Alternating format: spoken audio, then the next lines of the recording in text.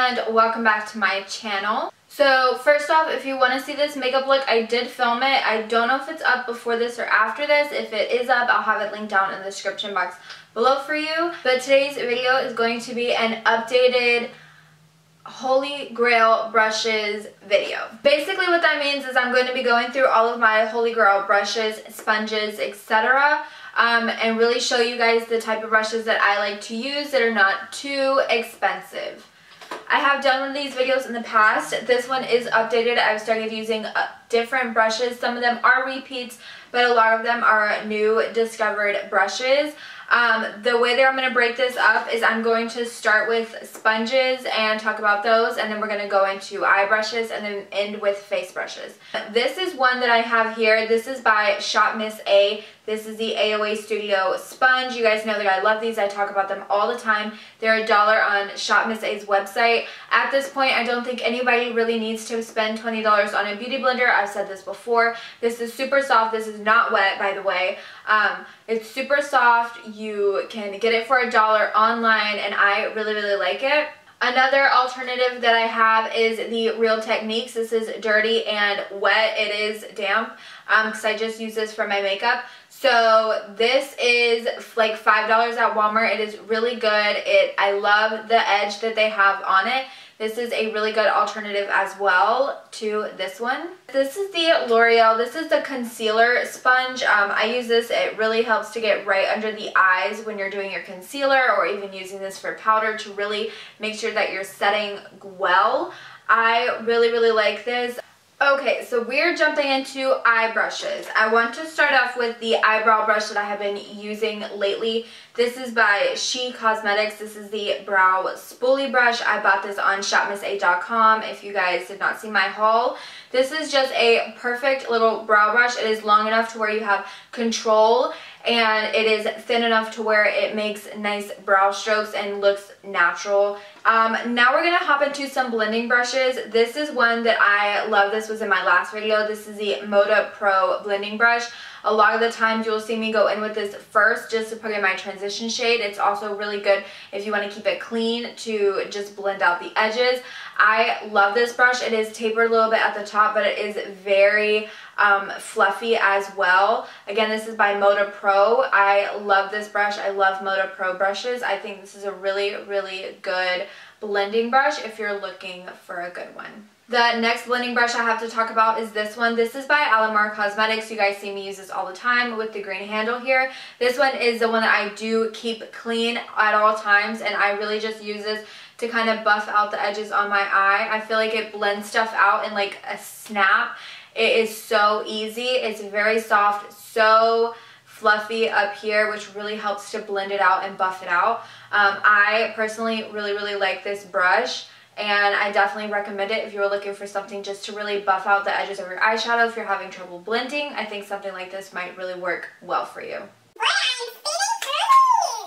Um, okay, these next two brushes came in the same kit. These are Luxie brushes. Um, this one is 229 and this one is 205. They are a tad bit different. The 205 is a little bit bigger than the 229 but they are very similar in shape. Um, I like these both basically for the same reason. Alright, going in with some more Luxie brushes. I have these three. This actually came in a set of four. I can't really find my other one. Sorry, I cannot tell you. Um, but these are the little mini brushes. I also got these in my BoxyCharm. Now, this flat tip one, I actually like it because it is so tiny. It is very easy to get in there where you really want to darken up the color because you have a lot of control with it being a short handle. I really, really like using this for any detail work close to the lash line. And basically, these two I like both for the same reason, which is like blending an outer corner. Like really, they're really, really nice because they're flat, but they're also fluffy at the top. So you can pack on the color and then blend it out all with the same brush. And it is super easy. Plus, again, you gain a lot of control with it being a short handle. So the other Alamar Cosmetics brushes that I have have here are that like packing brush and then this flat top one right here. I love this one. Um, I use this one in conjunction with my other one. This one is more for like eyeliner, stuff like that where I'm not smudging and like trying to get up close. This is a really, really nice brush. It is super thin and I love it for that. This is a like all over the lid shimmer shade kind of brush. I absolutely love this. It is a little bit small in my opinion, but I do really, really like it. Okay, next we're going in to another AOA Studio brush. This is Shop Miss A E122. This is just a flat brush. I absolutely love this for just packing on color. I use this with the Alamar Cosmetics one, but this one is a little bit um, thicker. You can see it is really nice, super flat, and gets the color on there so well and I really really like this plus again it is only a dollar. These have been by far like the best addition to my collection in a while I'm not going to lie. Um, these I'm not sure what collection this is I'm so sorry but these all are Luxie they're the ones with the gold handles here. Um, I'll tell you each of the names. This one I like to use just for detail blending. This is really good for getting like right in your crease, but when you want to kind of keep the color together, I like to use this a lot for when I'm working with color, like I use this today, as you can tell, um, because it really just keeps everything together but blends it out so well. This one I like to use just on my lower lash line. This one is so good for that. This is the mini angled one. I just like to use this just to buff any color out on my lower lash line.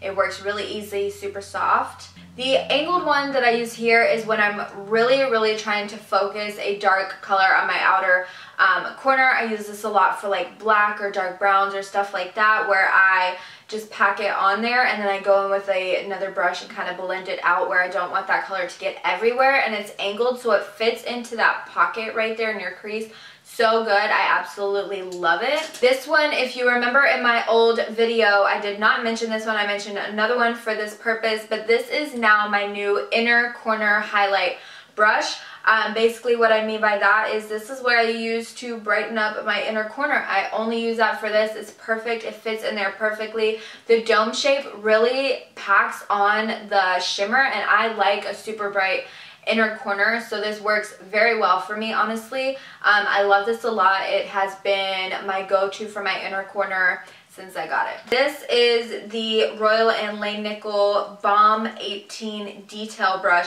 This is just a very short brush as you see right there. It is short.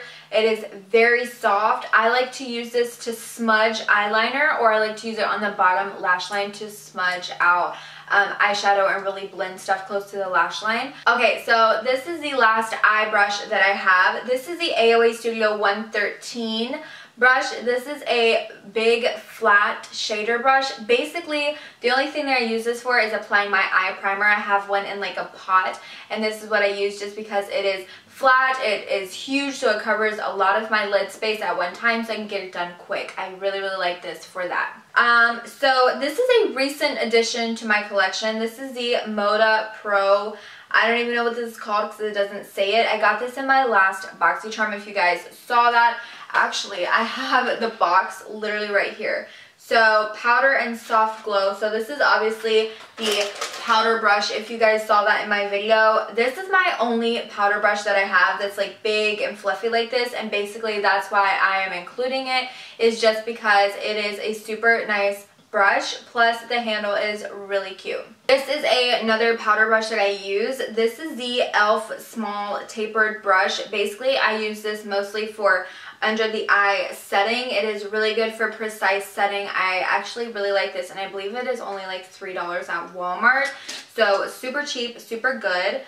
This is my preferred all over the face bronzing brush. This is the BMX 130 pointed blush brush. This is by Moda Pro. I don't use this for blush. I use it for bronzer. As you can see, it is brown. I used it today. This is not good for contouring. This is good for all over bronzing. If you want a bronzy look, it is very big. It is super fluffy. It is so soft. I absolutely love this. Again, love Moda Pro brushes. This is awesome. And I've used it for bronzer since I got it. Um, next, I have my like contour or like very precise bronzing brush because I don't really contour, but if I do want to do something like that, this is what I use. This is the Luxie 522 tapered highlighter brush. Don't use this for highlighter, I use it for bronzer.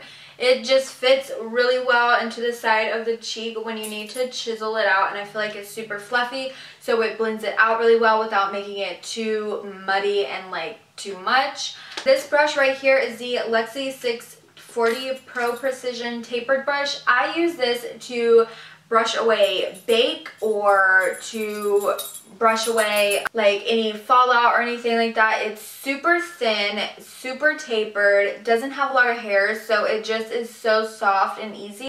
Now I have two highlighting brushes. Yeah, so my first one here is the Wet n Wild P75 brush. You guys have seen this a trillion times before. This is my favorite or one of my favorite highlighting brushes. This is more, okay, I'm just going to put both of these up here. This is the AOA Studio F19 brush, highlighting brush. Um, Basically, I use these both for highlighters, both for kind of different reasons. As you can see, they're two different shapes. This Wet n Wild one, I feel like disperses the product very large and like kind of everywhere and not really precise whereas this one is very precise and you can really figure out exactly where you want your highlight to go. A lot of times I'll go in with this one with like a less pigmented highlight and I'll go wherever I want to go and then I'll go in with this brush with a more pigmented highlight and just kind of hit the top of the cheekbones, the tip of the nose, and then you're good to go and it just gives you that extra pop. I feel like I'm out of breath. I don't know how long it took me to film. I feel like I just sped through those so quickly. Basically, that is the end of this video. Um, I hope you guys enjoyed. And if you did, don't forget to give it a thumbs up. Make sure you all subscribe before you leave. And I will just catch you all in my next video. Bye!